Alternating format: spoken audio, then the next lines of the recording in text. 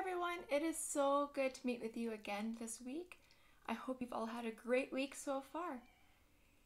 So, to start us off, I have three cups of water. I have red, blue, and yellow. Now, who can tell me something about these colors? If you said the primary colors, you're correct. A primary color means you can't make this color by yourself. So we can't make red, blue, or yellow, but we can use red, blue, and yellow to make other colors. We know this to be true. So say I wanted orange. I'm going to take my yellow cup of water. I'm going to add some red food coloring. Whoops. Red food coloring to it. Give it a stir. Add some more yellow to it.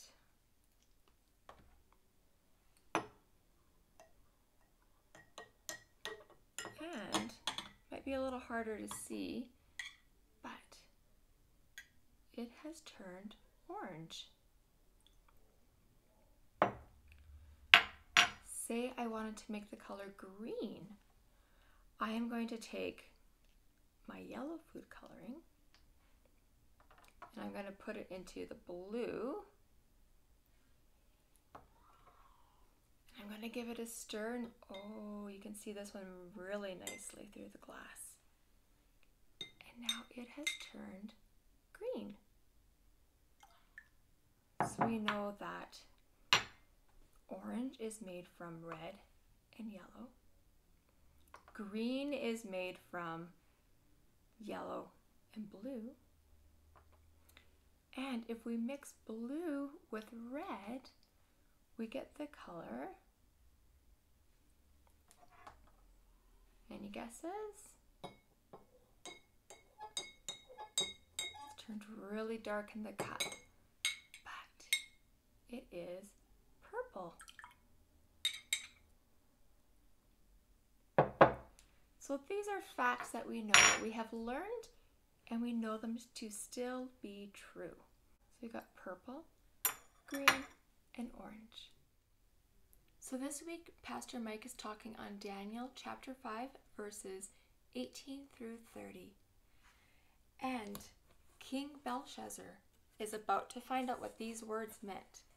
Mene, mene, tekel, parsin. And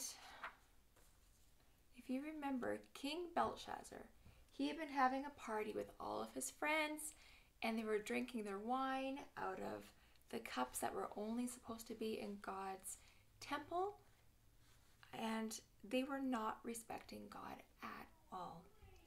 They were doing what they wanted, and King Belshazzar, just like his dad, King Nebuchadnezzar, had been, King Belshazzar was full of pride.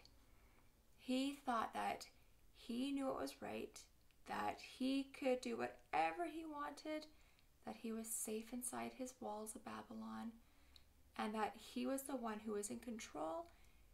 And it was only because of himself that he had all this power and that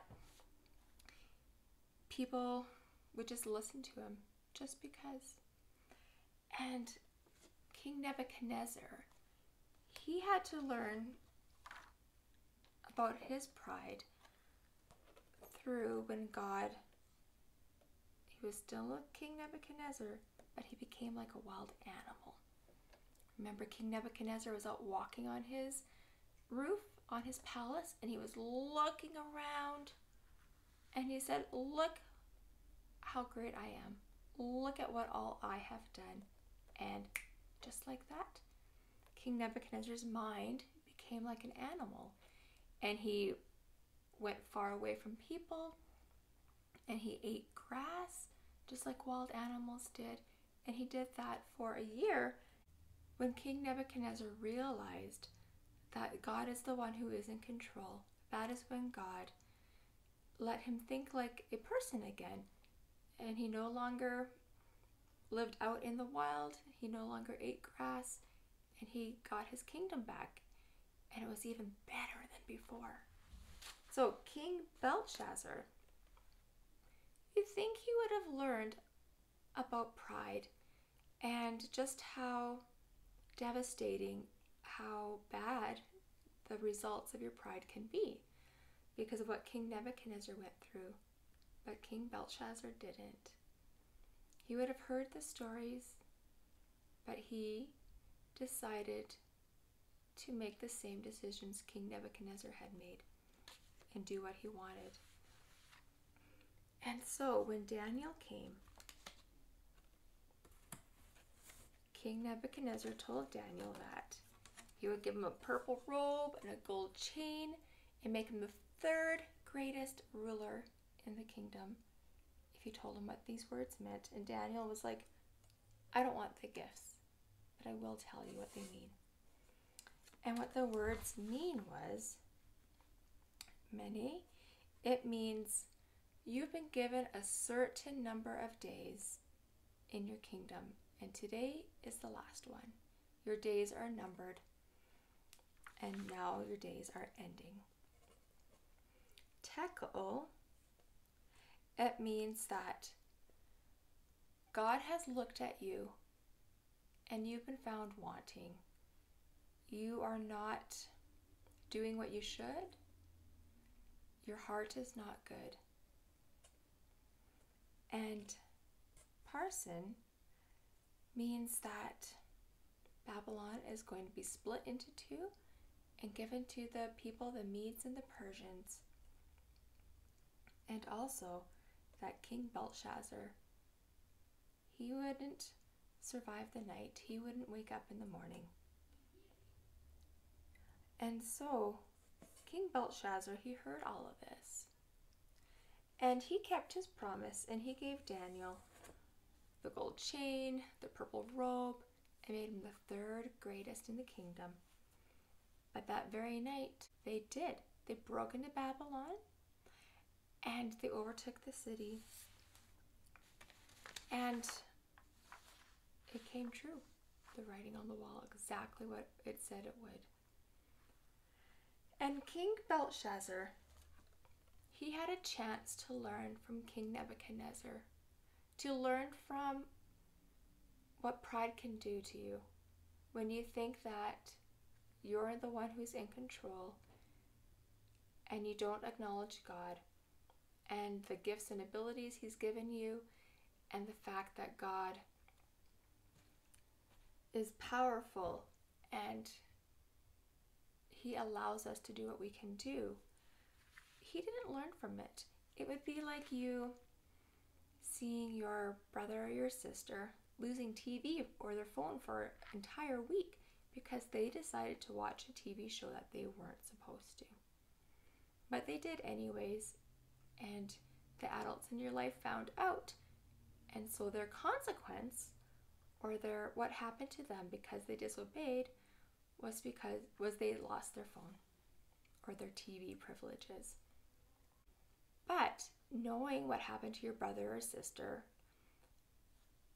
knowing that the mistakes they made and what their consequences were, you have the choice to go, hmm, well, I know what happened when they watched something they weren't supposed to, but you know what? I'm going to do it too. I'm going to make the same bad decision. That's not learning from what happened with them. We need to be willing to learn from the past. Just like we knew that red and yellow will always make green, we can look at the past and we can learn from it. We can see the good things that have happened, we can see the bad things that have happened, and hopefully we can choose the good decisions or to look at the bad decisions and go, how can I do that better? And God has told us how He wants us to live in the Bible. He has given us lots of examples on how to be kind, how to love others, how to care about people, why we shouldn't steal, why we shouldn't lie, why it's important to love God. And we can look at what God has told us there as well to help us to make right decisions. But it all comes down still to your decision, your choice. Just like King Belshazzar chose not to learn from King Nebuchadnezzar's mistakes, you too can still decide to do what you want, or you can choose to learn from the past and not to mis- repeat the mistakes of others, but to live for God now. To end off with, we're going to sing two songs. The first one is He's Got the Whole World in His Hands. He's got the whole world in His hands. He's got the whole world in His hands. He's got the whole world in His hands. He's got the whole the itty bitty baby in his hands he has the little bitty baby. In his hands he has the little bitty baby. In his hands he's got the whole world in his hands. He has the wind and the rain. In his hands he has the wind and the rain. In his hands he has the wind and the rain. In his hands he's got the whole world in his hands. He has everybody here. In his hands he has everybody here. In his hands he has everybody here. In his hands he's got the whole world in his hands. And our last song is going to be My God is So Big. My God is so big. So strong and so mighty, there's nothing my God cannot do for you. My God is so big, so strong and so mighty, there's nothing my God cannot do for you. The mountains are His, the rivers are His, the stars are His handiwork too. My God is so big, so strong and so mighty, there's nothing my God cannot do for you and you and you and you and you and you and you. I hope you have an amazing week and I will see you soon this way. Bye for now.